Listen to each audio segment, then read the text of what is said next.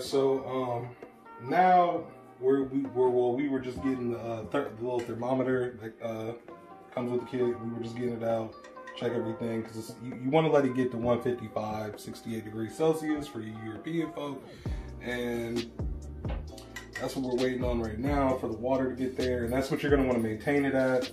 And then once it gets there, then you will take the bag, the little like cloth bag, uh, full of your um, grains, and you'll set it in there and you'll let it steep like tea. Now it's very important. You want to make sure that you do not like squeeze it or press it or anything like that.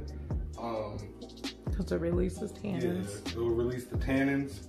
So What's our temperature at? we are at, uh, we're pretty much there. It's like 152, 153. All right, let's go ahead and put our bag in and then we're gonna turn down that heat to maintain that 155 Yeah, so you just want to put it on low. to maintain your temperature of 155 degrees Fahrenheit. Set your bag in there. I like to just like a little tea bag. Um, Set your timer. yep, 20 minutes. Right, Mm-hmm. for sure. We'll go ahead and we'll speed this up, and I will see you guys in 20 minutes. Guys, so now we're back.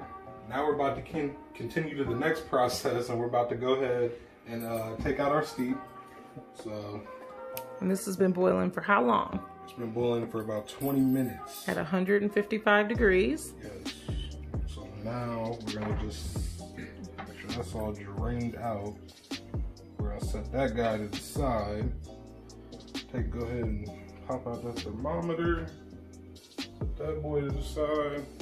And now for the next part, we're gonna go ahead and we're gonna stir in our malt extract. No, not yet. We got to bring it back to a boil. Oh, okay. Yeah, we so got we gotta turn the heat back up.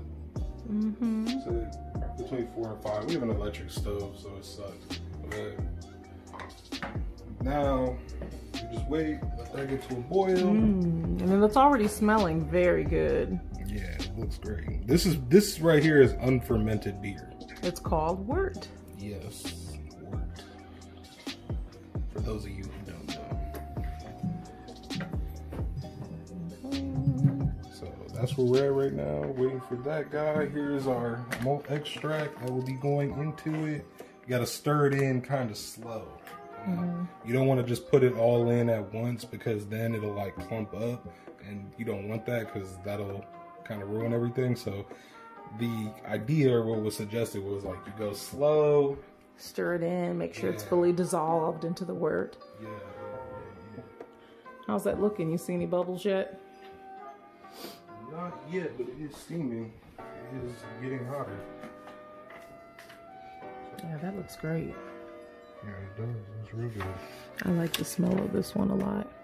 Yeah, I know this one's a lot better than the other one. The other one, the other beer that we, uh, the one that you guys saw us bottle in the last video, that one like kind of reminded me a lot of like Corona. Like that's what the smell was. It smells like. It didn't smell like Corona to me. It smelled like a, I don't know, something, but it didn't smell like a Corona. It's certainly darker than Corona. Yeah, it definitely is. But I mean, I don't know. It gave me that smell. Maybe a Modelo. Maybe that's what I'm thinking of. I could be confusing because Modelo is darker, like the Modelo Negros, Negras, whatever. But, uh, our brew is boiling, boiling. So now we're gonna go ahead. We're gonna stir in our dried malt extract. But you want to take it off that eye first. Yeah. Move it to the cooler one. Make sure you take it off the eye. Put it on the other one while you do that. Up and down. Go ahead and slowly mix that guy up in there. Pour and stir. Pour and stir. Because the idea here is you want it to completely dissolve. Yep. Just a flick of the wrist. Look at the wrist. Look at the wrist.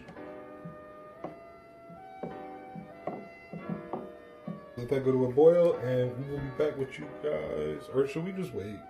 Yeah, we might as well just wait because it's going to come real quick. We're just going to get it to a boil and then we're going to go ahead and Throw in our bitter, our bittering hops. and then we will go ahead and to the future. So you want to show them the front of the package. So yeah, these hops are, whoop, it's not, there we go, that's good. Are specifically for bittering. And we are going to do it at the beginning of our 60 minute boil because the next step is once we get these hops in there, it has to boil for um, 60 minutes. And it has to just be kept like, you know, not like really, really high boil because you don't want, if it gets too high, it'll actually boil over. Yeah, and make a mess and completely mess up your kitchen. Yep. So in 55 minutes, we are going to add honey, um, which we are using a local Ohio honey. This is just one of many that we buy. We bought this at a Giant Eagle. This is gas. If you live in Ohio, go and get this. If you see this, get it. Yeah, it's pretty good. So I normally get um, fall harvest honey or I get the spring because my understanding is um, that's when you get the most, um, help you read like the most pollens uh, to help you if you have seasonal allergies like me. And so when you drink your tea, if you get the, the first honey of the season or the last honey of the season gives you the most uh, pollen that you need. Um, so that works. So we'll add that at 55 minutes because this is a honey ale. Um, so we don't have to add a lot of a, a honey, just 3.2 ounces. So I'll just kind of eyeball it um, and add that. And then at 58 minutes, we're going to add the second um, hops.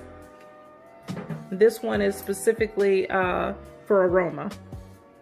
So the last two minutes of our 60 minute boil, we'll add that. So there's two packs here for bittering and for aroma. But if you ordered an IPA from Craft-A-Brew, it would actually come with um, a flavoring hop. But Ryan and I do not enjoy hoppy beer, so we're gonna forego that. It's not. IPAs are. How are we doing here? Ooh, that looks wonderful. Yeah, it's definitely coming out nice. Yeah. Ooh, that looks nice. All right, guys. So now we're gonna go ahead. We're gonna dump in our hops, and we're gonna stir it up a little bit, and then after that, we put it on a hour-long boil, and we skip to the future. Um, real quick though, just another thing I wanted to like kind of let everybody know is that I know we didn't really like show it too much, but you got to remember that proper sanitation and using the sandy water and making sure you know you're washing your hands and all that and everything is just kind of like clean and clear is very important when making beer. You know it, it can easily like if you make just a little mistake it can easily kind of be like uh, all messed up so just making sure you're keeping your area clean and wiping everything and you're washing your hands and your sandy water is set up So actually, before Ryan got started, I had already pre-sanitized everything. So right here, you see the water. You take half of the pack you reserve the other half of the pack for when it's time for you to bottle. Um, and you mix it with a gallon of water. So that's what I've already done. And now you just see that we have the uh, our thermometer sitting in there. Um, so yeah, that's really important. And we just kind of wanted to reiterate that. Even the carboy, like I've already sanitized that too. Um, and we have all of our sanitized stuff because you want to keep it on a clean paper towel. These are some bottles that we had left over that we didn't use for our um, bottling process for the last batch. Uh, but I, you have to you have to lay everything on clean paper towels. So that's very important and always using proper hand washing before you get started so that you do not contaminate your brew. Um, say hi, Lola. Lola's joining us. She's just there for peer support. So, as Ryan said, we'll be back in about 60 minutes. Um, but just keep in mind, in that 60 minute period, I'm going to be adding the honey at the 55 minute mark. And I'm going to be adding... Um. No, that's the aroma hops. We're going to be adding the aroma hops at 58 minutes. So I'll be doing all that off screen. And when we come back, we'll have uh, we'll start up with the ice bath and we'll show you how that works. Sir, all right, we'll see you guys then.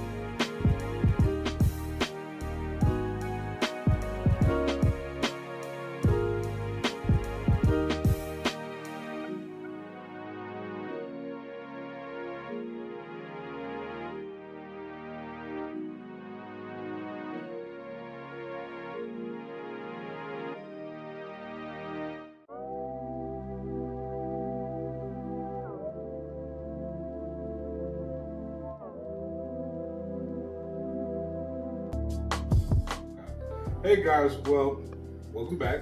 Now our finished product is ready to go.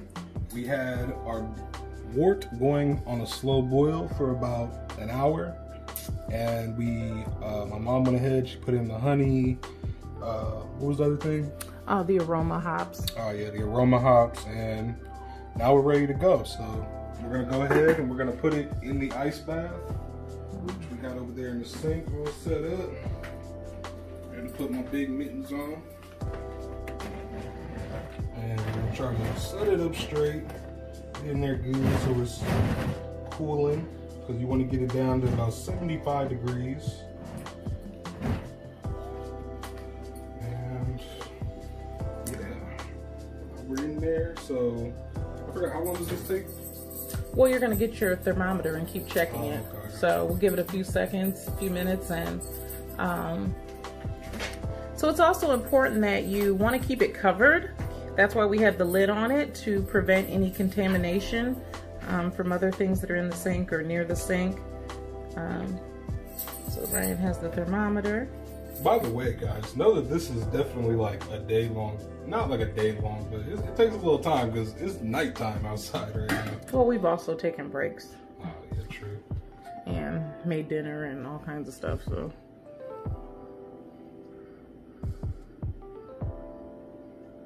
What's it at right now? One six. Woo. All right. yeah, so we have a long way to go. So we're gonna take a break while this cools and we get that water. So we just added a 10 pound bag of ice. That's what's in here. And we added some water. All right, guys, we're back now and I got Steven here. He's about to help me. Is my stepfather. Cool guy. awesome. You don't talk. All right, so now we're about to go ahead, pour our cooled down brew into our bottle. I'm nervous. Is that gonna make it in there? Yep, just yeah, make sure you just focus on centering it because Steven's gonna keep it steady for you and do it slow so that it has time to filter and the filter doesn't overflow. Go a little bit that way just in case if I hit the side. Okay. Oops. Let's put it in the center. There you go. In the center.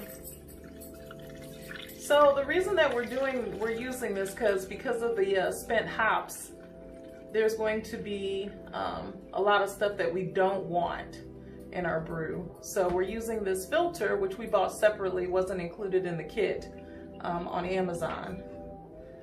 Yeah, just give it time to empty. And as we said earlier, we've already disinfected, we've already sanitized our carboy. Keep it in the center. You're leaking it off yeah. the side.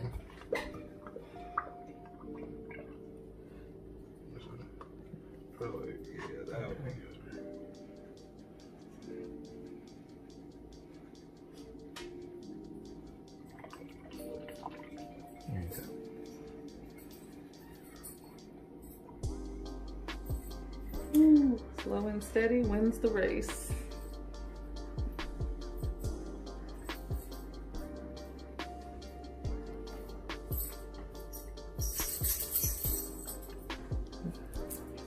All right, guys, so now we're gonna go ahead, put our yeast in, and... And we sanitize the scissors right. and the actual yeast packet. Yeah, keep everything clean.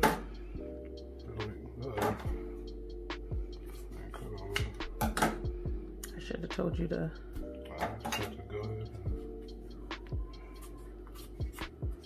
should have told you to shake them down first a little bit so they'd be at the bottom. No, it's at the bottom. Oh, okay, you shook it. Yeah, I got it. right there gonna bring our brew to life. Yeah, and the yeast goes in. Voila. All right. So now you can get the um, stopper out of the sanitizer. And put that on top. And so um, we're gonna set up a little blow off uh, kit on the top so that as it becomes active, which will probably be in the next 12, uh, 12 48 hours, it'll be quite active. And so there's gonna be some foam and uh, things that are going to be need to be released. Um, can you go get the tube and show them? We've already sanitized the tube for a little blow off kit. So then we will store this in a cool, dark place for the next two weeks.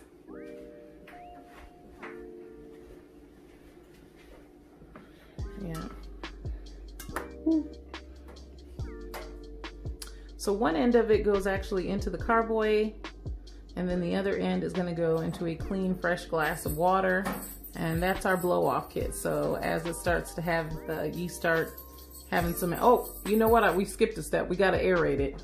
Oh. Yeah, I forgot about that. Gotta put your finger over it, the top, your thumb, and shake up the bottle. Yeah, that's right, that's right. Let those yeasties get mixed in there and, and air and give them some oxygen. Yep. Make sure your hands are clean. Ryan's already washed his hands multiple times in this process so that we don't introduce any bacteria that shouldn't be there um, into our brew.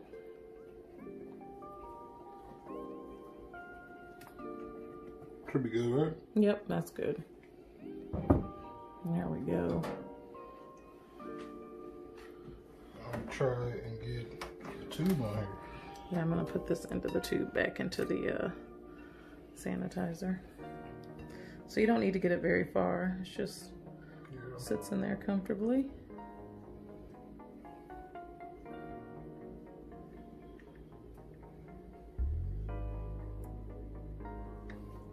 stand? Just so you guys can see very quick before we go ahead and end it out here. That's the final setup got it under in a cabinet with all the extra glass and whatnot. So it'll set up like that for three days. Yeah, for And then on the third day, you want to show them the piece that we're going to remove the tubing and put in yeah. place. So on the third day, uh, while it's in here, um, well, we'll actually move it down to the basement because we don't have enough space right here. But some you'll see like a bunch of stuff, like just extra little things come out and go into the water. Um, and then on the third day, we'll go ahead, pop this guy up into our little hole at the top. So that way it's, I forgot, what does this do again? So what does this do again?